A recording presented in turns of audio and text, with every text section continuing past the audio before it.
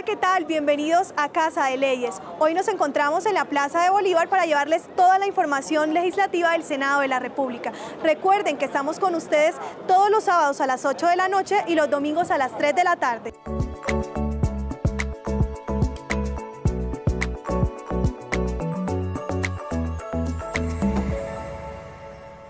La Comisión de Paz y Posconflicto citó a la Agencia de Reincorporación y Normalización con el fin de conocer el proceso de reinserción de los excombatientes de las FARC. Por eso ya hemos implementado estrategias de la mano con las alcaldías. En buen camino avanza el proceso de reincorporación de los excombatientes de las FARC. Dentro del proceso de paz, anunció el director del Registro Nacional de Reincorporación, Andrés Stapper. Se refirió a la atención prestada a los desmovilizados que se acogieron al programa desde el 30 de noviembre del 2018 a la fecha.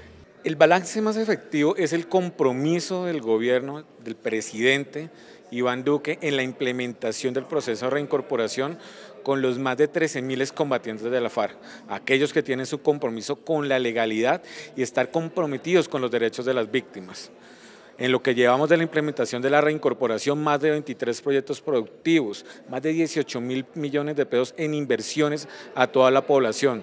Tenemos caracterizada el 90.5% de la población y así hemos venido avanzando, de la mano con el gobierno nacional, con el compromiso demostrado por el presidente y obviamente en la Comisión de Paz que nos ha hecho un acompañamiento y veeduría frente a los retos que es la implementación de paz ocho años para focalizar un esfuerzo para que estas personas hagan su tránsito a la legalidad.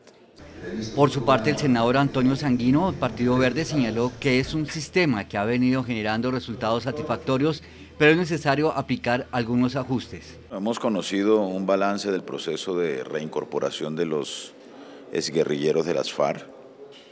Eh, por supuesto que este es un tema fundamental para garantizar la sostenibilidad del acuerdo y el mantenimiento del grueso de los excombatientes en el acuerdo. Como en todos los temas, pues hay problemas en la implementación. En todo caso, eh, eh, hay que ajustar algunas normas y algunos decretos que permitan que eh, la renta básica, que es el sostenimiento de los excombatientes, mientras se formulan los proyectos productivos puedan extenderse en el tiempo hasta tanto no exista un proceso de formulación sostenible de los proyectos de incorporación. Los desmovilizados deben seguir cumpliendo y seguir adelante en el proceso y aprovechar la mano que le está ofreciendo el gobierno y no abandonarlo, seguir en la legalidad y no volver a delinquir, dijo la senadora Paloma Valencia del Centro Democrático. Yo creo que hay una buena eh, unos buenos programas para que la gente que se ha desmovilizado pueda salir adelante y encuentre en el Estado una mano amiga que le ayude a construir un proyecto productivo. Recordemos que estos proyectos eh, y la ayuda estatal es transitoria y la idea es que la gente logre una autonomía y unos recursos suficientes para mantenerse en la legalidad y para seguir trabajando integrada en la sociedad, produciendo riqueza y generando empleo. Para el senador Julián Gallo del ADFARC, las estadísticas dadas a conocer en la exposición dan cuenta de que el grueso de los guerrilleros desmovilizados alcanza una cifra cercana a los 13.000 y solo el 10% ha desertado. Pues eh, se trata de la presentación de los resultados de una encuesta que se hizo a eh, 90.6% exactamente de los más de 13.000 eh, reincorporados de la FAREP. Lo primero que uno puede concluir es que con esta, eh, este porcentaje tan elevado, eh, se desvirtúa la matriz de opinión que se había generado de que gran cantidad de exguerrilleros y exguerrilleras de las FARC estaban regresando para el monte. Hay más de un 90% vinculado de alguna manera tanto al partido FARC como a las eh, agencias gubernamentales. El senador José Obdulio Gaviria del Centro Democrático dijo que es importante el que el proceso siga su curso normal como a la fecha y se otorguen otros beneficios para la población discapacitada. El doctor Andrés, el director de la agencia, nos presentó un informe muy concreto, muy completo además, 10.415 desmovilizados, encuestados, conocidos directamente, con programas concretos para educación, para actividades productivas, reconocimiento de miembros de, de desmovilizados con incapacidades físicas, tratamiento eh, en el tema de salud. Además, quedamos muy satisfechos con el informe. Hay un replanteamiento para toda la actividad productiva. Esperamos que sea muy exitoso. La Comisión de Paz anunció su próxima sesión en el departamento de Nariño, donde se vienen registrando hechos de alteración de orden público y el incremento de cultivos ilícitos como el narcotráfico, así como la delincuencia generalizada.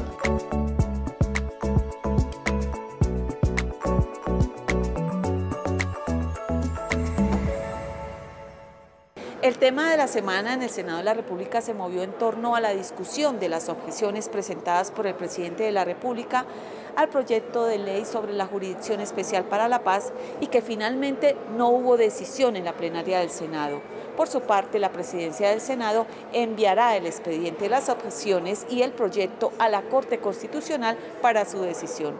Aquí, en Casa de Leyes, algunas reacciones de los senadores. Se hundieron los seis artículos objetados. La Corte Constitucional en dos sentencias, en el 2014 y en el 2016, ha sido clara en que las mayorías absolutas, como lo dice el artículo 153 de la Constitución, son las mayorías de los miembros que componen el Congreso. Es decir, de 108 serían 55 miembros. Los 47 votos están lejísimos. Entonces, lo que significa esto es que eh, un artículo que antes tenía mayoría para hacer una ley estatutaria, con las objeciones vuelve a tener un segundo debate y no tuvo las mayorías y por lo tanto no puede existir y sale de la vida jurídica. Logramos la mayoría los que aspiramos y luchamos durante este tiempo por eh, rechazar estas objeciones, que para nuestra manera de ver eran eh, inconstitucionales, como quiera que la, la Corte ya se había pronunciado al respecto de esa ley estatutaria. Y lo que hizo el presidente fue objetar ese fallo de la Corte Constitucional. No olvidemos que la Corte es entidad de cierre en esta clase de, leyes estatutarias y por lo tanto en ese sentido es que la Corte se va a pronunciar. Espero pues que lo haga prontamente para que las víctimas, para que la paz se siga fortaleciendo en este país. La realidad es que este tema finalmente el acuerdo que se logró es que fuera la Corte Constitucional para que fuera la Corte la que dirimiera esta interpretación jurídica que hacen tanto los que están de acuerdo en objetarlas como en los que están de acuerdo en dejarlas como están los artículos. Hemos triunfado, las objeciones presidenciales a la ley estatutaria se hundieron en el Congreso y ahora la Corte Constitucional va a ratificar lo que ha ocurrido en ambas cámaras. Así que la ley estatutaria ha quedado incólume y lo que corresponderá en los próximos días o semanas es que el presidente de la República la sancione tal y como fue adoptada por el Congreso de la República y como fue revisada por la Corte Constitucional. La conclusión es que las objeciones no se hundieron porque ellos no tuvieron la votación mayoritaria. Finalmente ninguno de los dos tuvo la votación mayoritaria, se archivó el proyecto y se envió a la Corte Constitucional.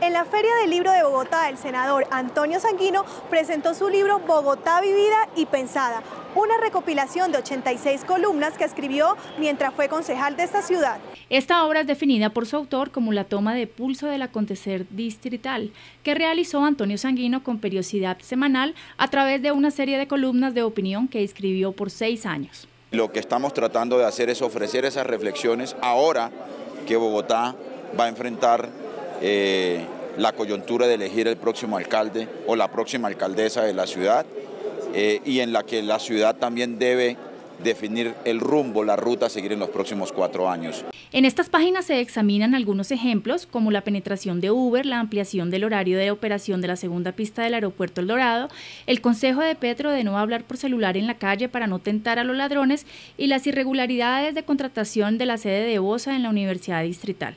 Es un libro que se pronuncia sobre los temas eh, urgentes de los bogotanos y bogotanas, la seguridad, la movilidad, la agenda ambiental, los temas de, la, de los derechos sociales de los ciudadanos y ciudadanas, eh, el problema de la corrupción, la gobernabilidad de la ciudad y esperemos que sea un insumo para la discusión y para la decisión que deben tomar los bogotanos y bogotanas el próximo mes de octubre. El libro se volverá la carta de navegación para muchos lectores que quieran saber sobre la propuesta de políticas y medidas que Sanguino estima para el caso.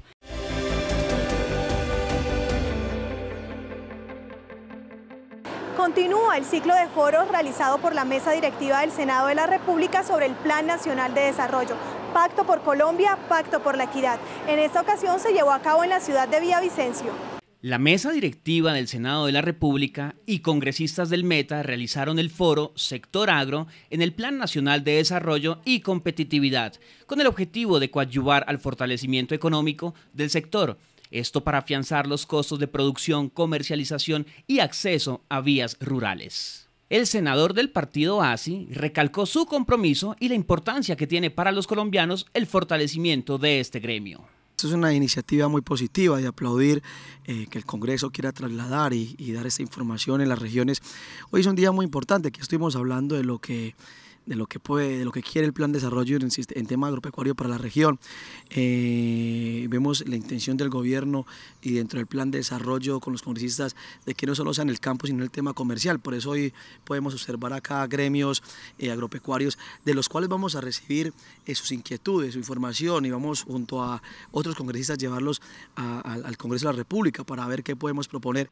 No obstante, representantes del campo envían con urgencia un mensaje al gobierno nacional. El llamado al gobierno nacional y a nuestros congresistas en general es que eh, en el plan de desarrollo debe haber una, uh, un apoyo más conciso, más preciso, eh, directo para el sector agropecuario, para el desarrollo, en estos dos temas, la formalización de vías eh, perdón, la formalización de predios rurales y el mejoramiento de vías terciarias y secundarias. Para el director ejecutivo de FENALCO, la realización de este foro en el departamento del Meta es una clara muestra de la voluntad política que tiene el gobierno nacional para la búsqueda de soluciones ante la dura crisis agropecuaria.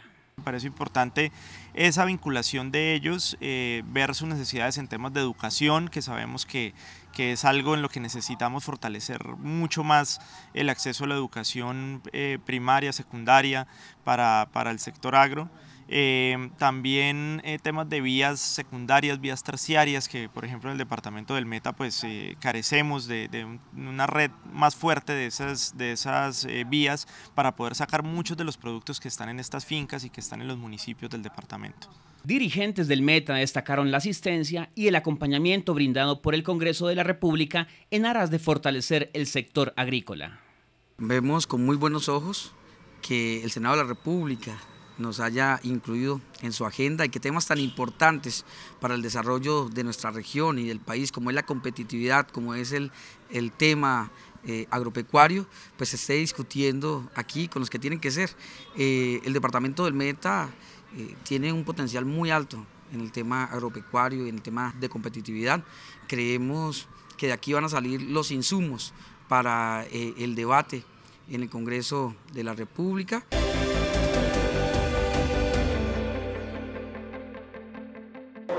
Conectados con Casa de Leyes, ya regresamos.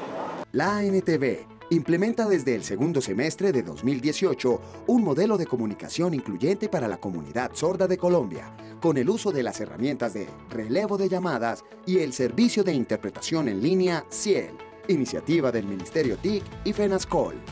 Ahora con el apoyo del Centro de Relevo, tenemos un sistema de comunicación bidireccional entre una persona sorda y un oyente. Esta es una plataforma tecnológica gratuita que cuenta con intérpretes en lengua de señas, en chat de texto o video. En el CIEL, tenemos un servicio de interpretación en línea gratuito donde reunimos en un mismo espacio a una persona sorda, una oyente y un intérprete en línea usando un celular o tablet. Implementando estas dos herramientas, el CIEL y el relevo de llamadas, la ANTV volverá sus canales de atención más accesibles, garantizando y apoyando la comunicación y los derechos de las personas sordas en Colombia. Estoy preparándome para progresar, para decirle al mundo que soy capaz, porque aquí descubrí que puedo reinventarme porque sé que puedo llegar muy lejos. Soy Robert Ronald Guamán Parra, soldado profesional y futuro ingeniero aeronáutico. Como Centro de Rehabilitación Inclusiva, brindamos a los miembros de la Fuerza Pública con discapacidad la posibilidad de volver a la vida productiva en sociedad. Gobierno de Colombia.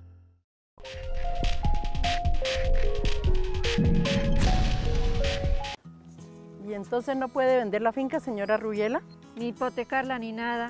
Esta finca yo la compré, pero no la registré. Es que usted es propietaria solamente cuando registra los bienes, pero está de buenas, porque mañana llega al pueblo la unidad móvil de la Superintendencia de Notariado y Registro, y allá le dan toda la orientación. ¡Buenísimo! La Superintendencia de Notariado y Registro recorre el país con sus unidades móviles, para que usted reciba orientación para legalizar sus tierras y sus inmuebles, y pueda venderlos, hipotecarlos o negociarlos. Infórmese en www.supernotariado.gov.co.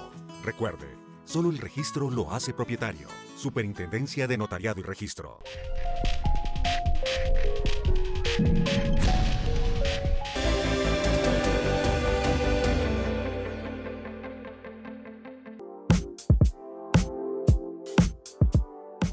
Bienvenidos a la sección Los senadores en redes.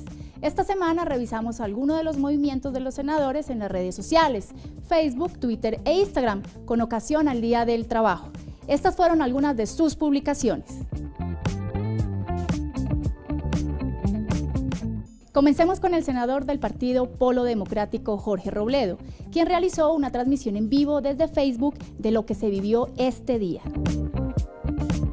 En el Día de los Trabajadores los acompañamos en sus luchas como siempre. El senador Ritter López compartió, el mundo se mueve gracias a la suma de pequeños empujones de cada trabajador honesto.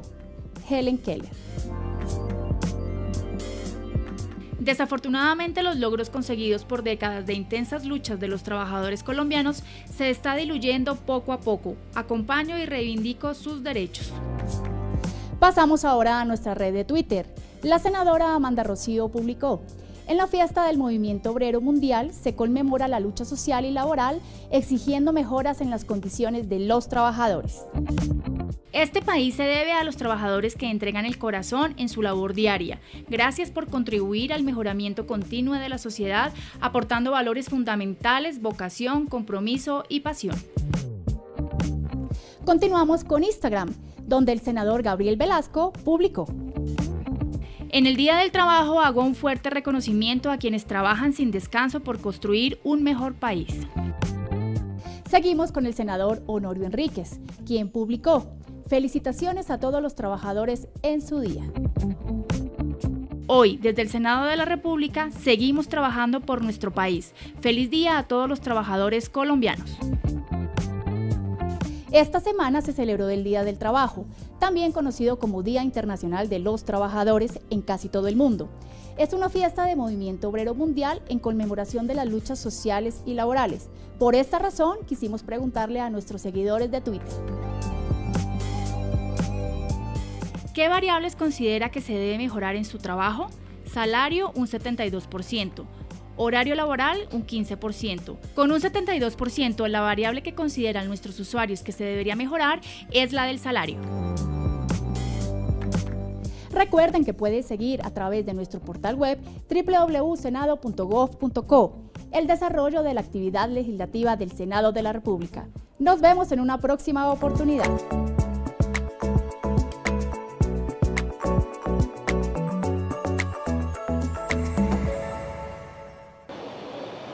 Durante esta semana, senadores de diferentes partidos políticos radicaron proyectos a favor de los colombianos. Veamos aquí un resumen de algunos de ellos. Según los senadores liberales Jaime Enrique Durán y Luis Fernando Velasco, sí existe la posibilidad de evitar la venta correspondiente al 8.5% de las acciones de Copetrol que todavía le pertenecen a la nación. Veamos al respecto qué nos dice el senador Durán. Nosotros creemos que si se vende el 8.5 más que está autorizado el gobierno nacional para hacerlo, Colombia hacia el futuro, bajo las perspectivas actuales del desarrollo petrolero del país, va a perder recursos. Puede recibir un dinero en el presente, pero va a perder hacia el futuro mucho más de lo que recibe en la actualidad. Luego, bajo esa consideración, creemos oportuno eh, parar la venta de Ecopetrol y decirle eh, a los colombianos que hay que cuidar la joya que más eh, recursos le produce al país. De otra parte, les contamos que Santa Marta, la ciudad más antigua del continente, sigue siendo protagonista. Tiene un patrimonio histórico y ambiental invaluable para el país. Es una de las ciudades que se ha venido transformando en los últimos años, razón por la cual se le ha otorgado un papel de liderazgo en el Caribe colombiano.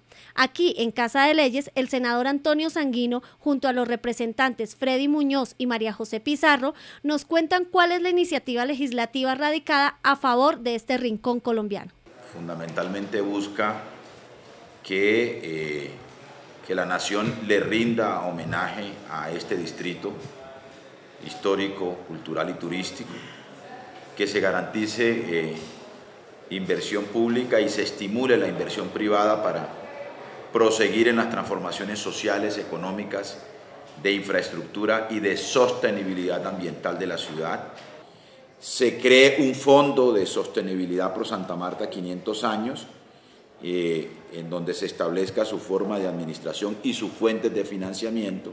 Así terminamos con nuestra sección Proyectos Radicados. Recuerden seguir conectados con la agenda legislativa aquí en Casa de Leyes.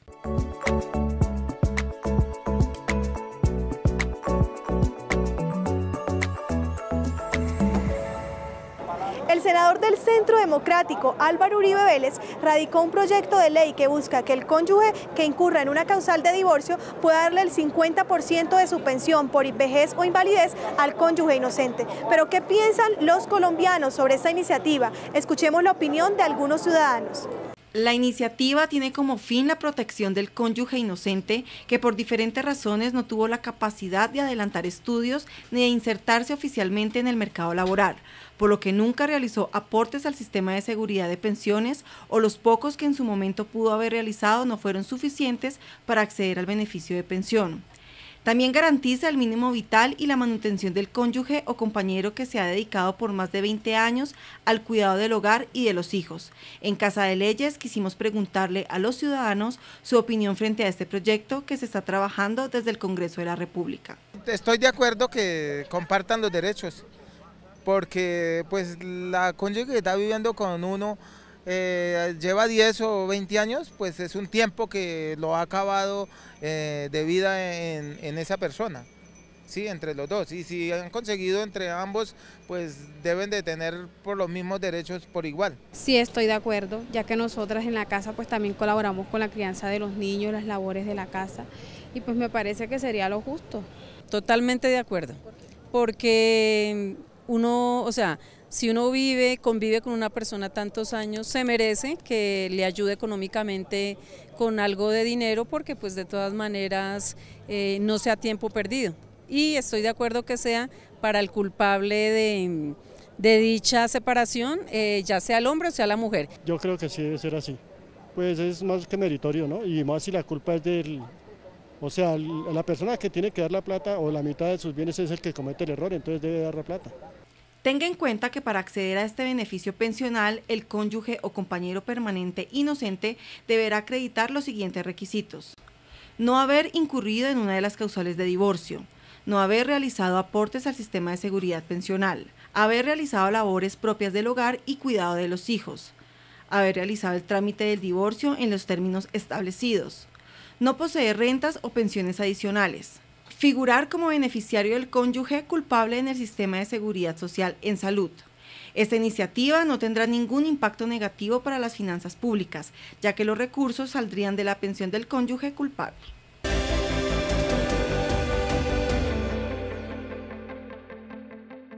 Aquí finaliza Casa de Leyes. Antes de despedirnos, los invito para que sigan conectados a través de nuestras redes sociales, Twitter, Facebook e Instagram como arroba Senado Nos vemos en una próxima emisión con más información legislativa. Hasta pronto.